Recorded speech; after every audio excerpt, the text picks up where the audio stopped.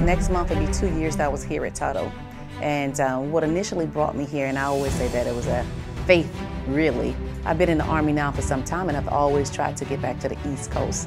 And being here in Savannah, Georgia was, you know, one of my ideal places to be.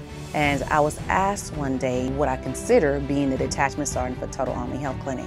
But pretty much what my job entails here at Tuttle Army Health Clinic. I oversee roughly eight clinics so I'm like the clinical management, myself and the colonel. If there's any issues that they have, I'll be the one who solve them. If there's any type of employee issues, I'll be the one that they come to for guidance and I can be able to point them in the right direction. I'll go and sit down and talk to the employee myself and find out what it is that they need in order for them to be happy, I guess, within their job or what it is I can fix to make it a better work atmosphere for them. We as an organization needs to ensure that our patients and our customers are well taken care of and they have the basic healthcare needs that they need in order to be returned to duty and be successful at their jobs and anything that they need to do.